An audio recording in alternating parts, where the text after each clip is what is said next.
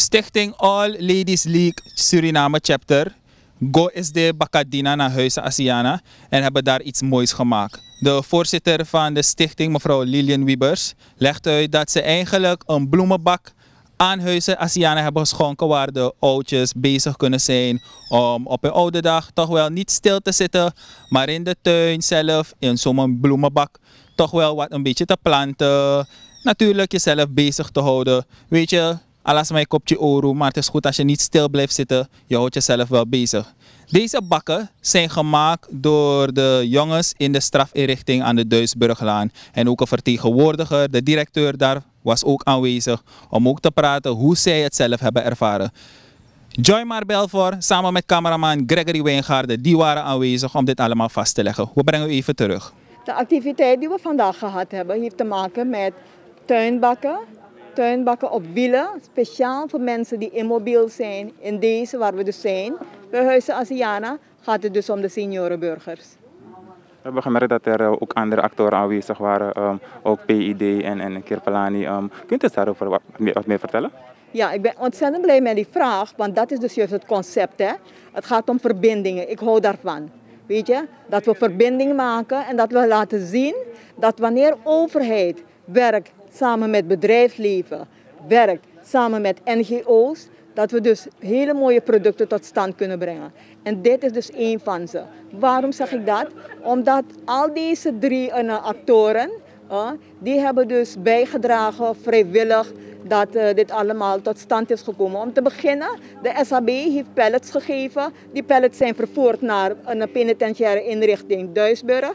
Daar is dus mevrouw Alfaisi is directeur van. De mensen in detentie hebben dus de tuinbakken gemaakt. De tuinbakken zijn vervolgens uh, een, uh, ja, het is met hout vervaardigd en zo natuurlijk, want een, bedrijven hebben dus hout gegeven. En vervolgens zijn ze dus gebracht naar een huizen Asiana. En wat we dan gedaan hebben, we hebben gezegd, luister nou, we gaan het project koppelen althans de seniorenburgers, met jongeren. Want dat is heel belangrijk. Hè? Het intergenerationeel aspect vind ik belangrijk. Want wat is het? Je hebt dus dat de jongeren op die manier ook basic life skills kunnen leren. Weet je, geduldig zijn, uh, en, uh, ook nog verdraagzaam zijn. Maar ook iets anders. Ze leren van die ouderen. En hier in deze periode waar we dus nu zijn, COVID, maar ook daarvoor, hè, heb je vaak dat je, uh, oudere mensen eenzaam worden, eenzaam voelen dan hebben ze dus nu gezelschap. En dit gezelschap zal drie maanden lang zijn. Waarom? Omdat die jongeren twee wekelijks terug zullen komen om te kijken van Eva Wakka, dit plantje dit, dit.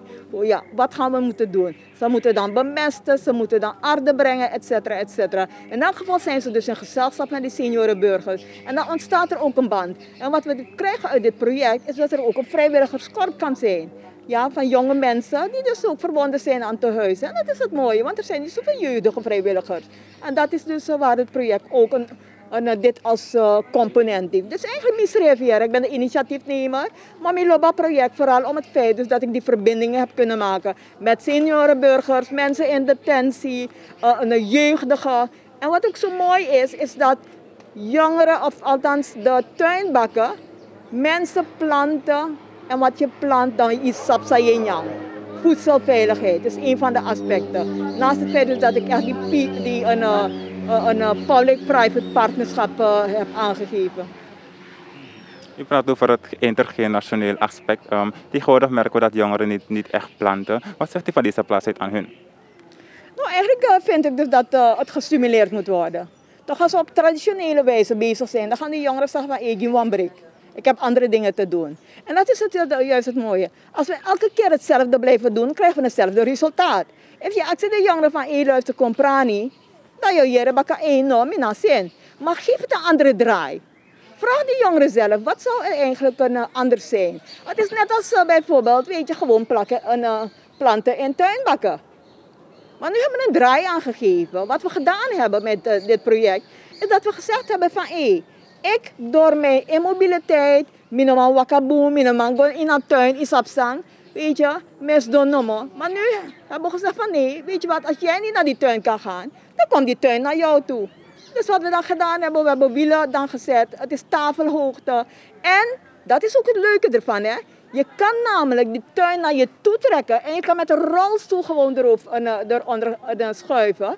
En wat ook een, een, leuk is, is dus dat ook al zou je bijvoorbeeld niet in een rolstoel zitten. Ik heb het wel stoer en is door relaxed. Ik van jazz met broko tranga, mi relax en, en gewoon met de tuin. Nanga tuin, mi is door rustig, prani met takanga de spinazie en zo.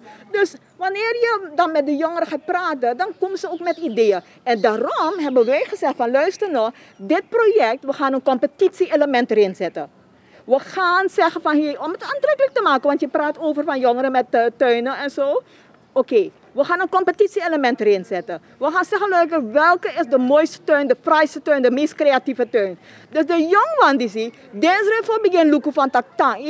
Van ons zit mijn tuin kom. Want je kan bijvoorbeeld, en je me, hier is met tak jas, maar je kan rekken zetten. Dus wat tuin die je put rek met spin als je kringa lok toe. Dus, uh, maar goed, en ik kom niet te luisteren, want het gaat om een competitie. Maar we lukken. En is er een heel leuk prijsje. Toch? Na drie maanden dan kunt je kijken, want het prijs is fantastisch. Dat ze kunnen krijgen. Maar daar houden de jongeren van. Dat je eh, midden. Dat is nou af de balkon. We praten hier over 15 jongeren. 15 jongeren die belangstelling hebben om een, een, een, verbonden te zijn aan dit project. Toch? Dus het kan. Laten we dingen op een vernieuwende wijze aanpakken. Want ons heeft eigenlijk van je knap ja zo. If je hier oro oro ik heb andere dingen te doen, vooral in deze digitale wereld. Begrijp je? Maar laten we de andere dag geven. Vernieuwend, innovatief. En we make it happen. Ik zou graag willen weten van waar het idee is om, om dit project te doen. Wel, dat idee is omdat ik zelf een, eh, een schoonzus heb en die houdt van tuinieren. Maar een, uh, door ziekte dan kan zij dat niet meer doen. Elke keer als ik naar de toe ga, dan zie ik een vrouw helemaal gedoken in haar kamer. En dan denk ik van, oh guns, weet je, ik zie weer dat beeld waar ze dus zoekt naar plantjes. En dan denk ik van, hey, dit kan niet. Ik ben een sociaal voelend persoon. En altijd ga ik zoeken naar oplossingen. Ik wil niet accepteren dat dingen niet kunnen. Voor mij bestaat dat niet. Het moet kunnen. Dus toen ik dat zag, en ook het feit is dat uh, ik zelf ook op een bepaalde hoogte, weet je, uh, en gewoon lekker bezig ben met mijn, hoe noem je dat weer, je, je, je je soepgroenten. Toen dacht ik van, hé, tafelmodel. Nou, dat heb je tafelmodel, maar wacht even, het is dong. Het is net als wanneer je achter een bureau, zit. Hè? Je haar een bureau kon naar je dit op een computer. En toen dacht ik van, hé, hey, die tuintafel kan je toch ook zo doen? Dat is zo'n zo'n denk idee. En natuurlijk is het niet dat mevrouw Wiebers geweldig. Nee, maar nog geweldig. Omdat alles dat er is, is ergens in de wereld. Dus ik ben ook gaan kijken van, hé, hey, hoe ziet die dingen eruit? Ik heb ook een beetje gegoogeld om te zien van, oké, okay, dat we dit, we dat, die. En wat zo mooi is, en daar ben ik dus dankbaar voor, is het feit dus dat bedrijfsleven heeft gegeven. Kijk, de Rotary die maakt een documentaire van. Die zegt van nee, het is een exceptioneel project. Die maakt een documentaire van. En het mooie ervan is, is dus dat het in een resocialisatieprogramma gegooid is. Weet je, dat de tensie, mensen in de tensie, die produceren die bakken. En die produceren die bakken voor dus een uh, ja, welzijn van anderen buiten de muren. En wanneer ze eruit komen, hebben zij ook een business om die tuinbakken te maken. En nog maar naar vrede, want we hebben een tien districten. Toch, ik, ik cover one district, ik cover one district. Want vaak zijn we geneigd om te zeggen van, hé, je hebt mijn idee genomen. Ik nou concreet, dat maar tak mijn idee aan of mijn idee, naar Suriname. You, you, you cover een uh, Saramaka, mij cover Brokkenpont en you cover Sipawili Begrijp je? Dus er is genoeg werk aan de winkel. Ik snap soms niet als mensen zeggen van luister nou, ik weet niet wat te doen. Maar kom bij mij, er is een lot dingen te doen. Dit moment ervaar ik als een geweldig moment. Kijk, uh, oud worden, seniorenburger worden, is niet aan ieder gegund. Maar zij die het hebben mogen ervaren. En door de jaren heen dat we hier hebben geëvangeliseerd, heb ik gezien van de mensen zijn zeer, vele van ze zijn eenzaam. Ze hebben niet zoveel bezigheid en zo. Nou, met dit project kunnen ze uh, uh, het gevoel krijgen van dat awareness krijgen van dat ze iets nog kunnen doen in de maatschappij. Ze kunnen planten, ze kunnen oogsten, ze kunnen produceren, eigen voedsel uh, creëren. En zuster Wiebers heeft mij uitgenodigd hier, niet wetende uh, dat er een goddelijk iets hier aan verbonden is. Ik heb namelijk gebeden hier voor Gods hulp voor de mensen die straks uh, laat me zeggen, in een leeftijdsklasse zijn die uh, niet zo krachtig meer zijn. Maar ze heeft onbewust mee hier gebracht. Eerst in Esther Stichting en vandaag zijn we hier, Asiana. En ik ben namelijk geestelijk adviseur geestelijk welzijn en arbeid van de president. En dit heeft mij zo, om terug te komen op uw vraag, het heeft mij zo geraakt dat ik dit ter sprake ga brengen bij de president. Om dit initiatief van een therapie, dat de mensen zich weer uh, uh, uh, een burger, een, een, een, een, actieve burger in Suriname mogen voelen. Dat zij dit initiatief door via, op, in alle sociale instellingen wordt doorgevoerd. En daarvoor zullen we zeker zuster Lilian Wiebers nodig hebben met haar team, maar ook de hulp van God. Yes. Ik geef aan dat u dit ter sprake zal brengen bij de president. Um, wat denkt u dat uh, van daaruit eventueel van de regering gedaan kan worden voor uh, Huis ASEAN? Wat denkt u? Is een heel mooie vraag van je broeder. Kijk, uh, deze president uh, was eens minister van Justitie en Politie. En hij was de eerste minister, de eerste functionaris die eigenlijk resocialisatie in het leven bracht bij gedetineerden. En zo net zagen we een uh, penitentiaire uh, uh, directrice zeggen van, ze heeft ook die jongens daar gevraagd om die bakken te maken. En die jongens waren heel vurig.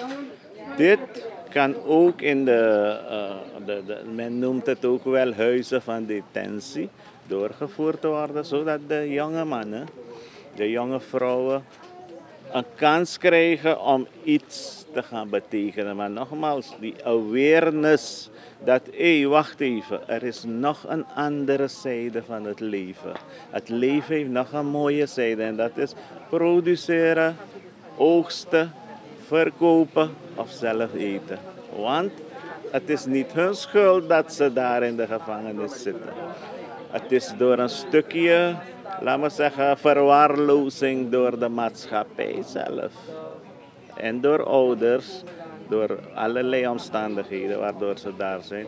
Dus broer, jouw vraag van uh, wat zal de regering daarvoor? Nou, het ministerie van LVV heeft al landbouw in zijn portefeuille. Uh, ze hebben al in het crisis- en herstelplan is er al zoiets van hoe gaan we de mensen via een sociaal vangnet opvangen. Nou, een sociaal vangnet waar de mensen zelf producten gaan verbouwen. Is dat niet leuk? Als u rondkijkt, ziet u hier, toch? Ziet u dat die mensen reeds landbouwminded, tuinbouwminded zijn. Dus we zullen alles in het werk stellen, samen met zus Wiebers, dat dit project landelijk wordt doorgevoerd Ja. Tot slot, heer pastor. Wat vindt u van het hedendaagse, de hedendaagse behandeling van onze seniorenburgers? Wat zegt u tot slot daarover aan de gemeenschap? Kijk, de seniorenburgers, iedereen, wij, u bent nog jong, ik, ja, ik ben 60, maar ik hou mezelf in conditie, toch? Vooral in COVID-tijd. Uh, we worden allemaal oud. En er moet een beleid komen gericht op zelfverwerkelijking. Self-satisfaction voor die mensen. Dat die mensen behalve uh, uh, hier komen en verblijf houden. Ja, ze hebben onderdak, al die dingen.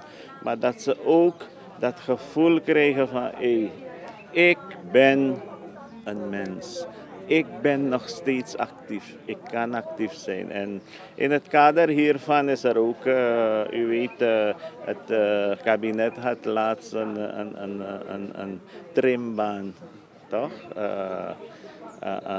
eigenlijk aangelegd via sponsoring. We zijn ook bezig om hier ook met de directie samen een kleine trimbaan te starten, zodat de mensen met hun rolstoel, met alles daar kunnen zitten, praten, bijeenkomen, elkaar ontmoeten. Behalve hier onder een bloementuin uh, uh, kamp. Dus nogmaals, de behandeling tot nu toe van uh, seniorenburgers, het kan vele malen beter. Ik ben ook in Nederland geweest, ik ben ook in Duitsland geweest en zo. Ik heb gezien dat seniorenburgers daar bezig gehouden worden. Laten we onze seniorenburgers als maatschappij opvangen en ze dat gevoel, maar ook dat, dat ze levensvreugde mogen hebben. Naast Gods woord, maar ook in werken. Die jongens hebben keihard gewerkt. Die de jaren tak eigenlijk nou aan toe bigisma. Ding tuinbakken worden overgeleverd. Ze hebben met hun hart eraan gewerkt. Ze zeggen van nee, omhala deadline. Ik had een deadline voor ze gesteld zonder dat mevrouw Wiebers het wist. Ik heb gezegd, omhaal zo'n deadline, ik wil het binnen hebben. Wel, die jongens hebben keihard er, um, eraan gewerkt. Want wat zeggen ze? Ja, want ze moeten ook, zoals mevrouw Wiebers en de andere mensen hebben uitgelegd, van, ze moeten vers en goed groente eten, omdat ze dan weten van waar, wat ze hebben verbouwd, wat ze verwerkt hebben. Dat ben een belangrijk gegeven. Maar ze uh, ze hebben teruggegeven aan de gemeenschap. Want meestal wanneer we praten, over de gevangenis. Eigenlijk wil niemand iets horen over de gevangenis. Want na zo'n madrape, lijkt van mij dat naar voerman en die dat ja, ze hebben fouten gemaakt. Dat is waar. Maar we willen aan ze werken om terug te komen in de maatschappij. Wat heeft dit gedaan? Dit heeft de overschakeling gebracht van, hey, wat kan ik? Want if een project is wakker. En de mensen die eraan hebben gewerkt. Dan kunnen ze dat ook als een living gebruiken. Want wat doen we? Dan houden we ze weer buiten de muren. Het is een, manier van resocialisatie, zoals we het zeggen. Ze leren om, om te werken, om aan, op een andere manier, op een, goe, een goede manier, op een legale manier uh, aan, aan, aan financiën te komen. Dus dat is wel belangrijk. En dat ze met hun hart hebben ze eraan gewerkt. Omdat na de, na de, na de massa roken gaan kondre, bouwen kondre opgiding, toch? Voor denken op wan betre Tamara. En vandaar dat ze met alles, alles, alles, alles. Zo, we staan ook met de heer Dennis Dundas, ook een van de bewoners van Huizen Asiana. Hoe ervaart u dat moment vandaag? Wel heel mooi, heel mooi. Ik vind het heel mooi. Want ik ben persoonlijk, dat is mijn hobby, is tuinieren. Ah, maar, oké, okay, nu hulp hebben gevonden, dan gaat het beter gaan hier. Tegenwoordig plant men niet zoveel meer. En wat is uw advies aan de jongeren? Dat ze het ook proberen. Mm -hmm. Vermenigvuldigen toch. Ja, ga en vermenigvuldigen. En plant is vermenigvuldigen. U geeft aan dat u al uh, vaker heeft geplant. Dat u vaker heeft ik, ik plantte. Als je nu een bus pakt naar Jesrenweg en op mijn erf gaat, dan schrik je wat ik daar heb achtergelaten. Ik zei aan die zuster, als je vervoer had, dan zouden we plantjes thuis bij me gaan halen. Echt wel. Echt wel.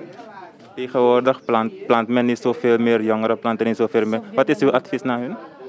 Ik weet het niet hoor. Want als zeg je, ze luisteren niet naar je. Ze hebben andere denkwijzen. Je kan ze niet helpen. Ja, ik kan ze niet helpen. Ik wil ze het goede voorbeeld geven. Want ik heb een zoon in Nederland. Alles wat hij vindt, plant hij ook. Alles wat hij vindt, plant hij ook. Maar die van die Surinamse, ze gaan liever op een hoek staan dan, dan iets doen. Op hun erf, iets planten, dat je morgen ervan gaat genieten. Dat zeg ik ze altijd. En u heeft vandaag nu de gelegenheid om via de SCVS dat kenbaar te maken. Wat adviseert u ze vandaag? Ga jullie planten. Want als je dit Yusuf Prani, Yusuf kan go oogst. In voor die buurman of buurvrouw dat me accident. Ik denk go doen, ik denk go prani. Tek een ouro of een chapu of een harak. Actie, mevrouw, oma, waarmee, waarmee kan ik je helpen? Je vindt, verdient daarmee meer. Dan je ook nappe hangen, op de, de, de, de straat. De straat.